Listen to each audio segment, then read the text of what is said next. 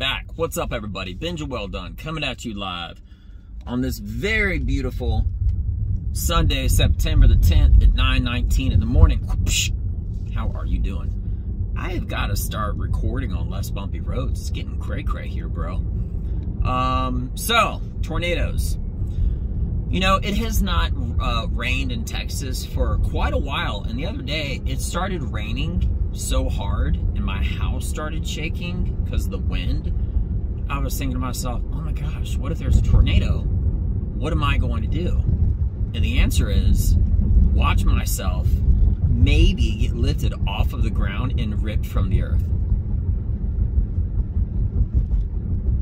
How crazy does that sound? Tornadoes, in my opinion, are the craziest um, uh, weather phenomenon and the interesting uh, thing about tornadoes is, do you, know, do you know how they're caused?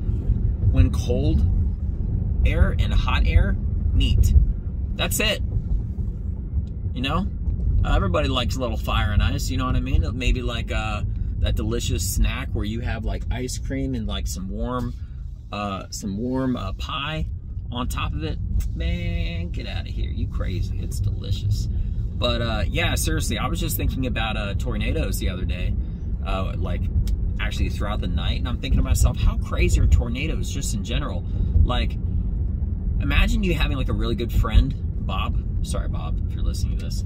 Um, and uh, someone's like, hey, if you're like, hey, have you seen Bob in a while? And you're like, no. what happened to him? The sky took him. That sounds like some crazy shit, bro. The sky took him? Could you imagine what it would be like to be in a tornado? You're just like walking along, doing your regular daily routine, you're stretching, you're going on a hike or a walk or whatever. And all of a sudden it gets dark and it looks like a finger just comes out the sky and starts spinning around the entire world.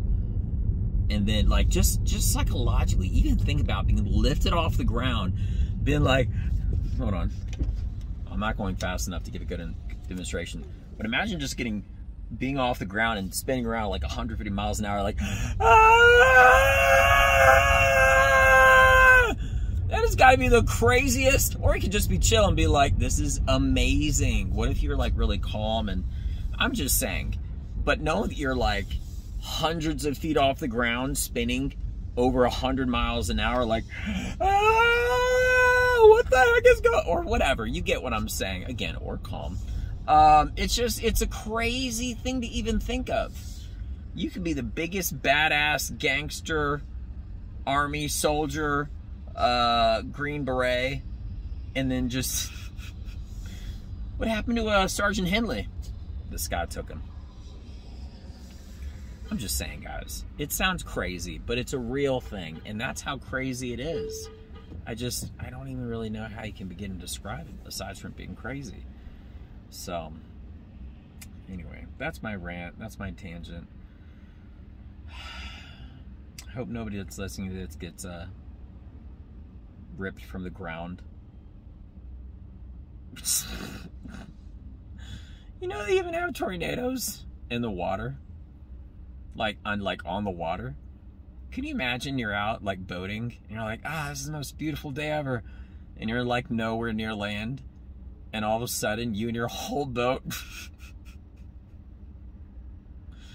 just get picked up from the ocean and then spun and like, oh man, like just compiled circumstances. It makes me want to watch like a tornado film but knowing that it's reality based, I'm really not interested at all, which is weird because I watch stuff about people like getting attacked all the time. That's every action film, right? I don't want to be attacked. No, I don't. But there's literally nothing you can do uh, from a tornado, and they just like, here I come. oh man, tornadoes are crazy. All right, guys, you have the best day. I'm Benja Welldone. Check me out. Peace.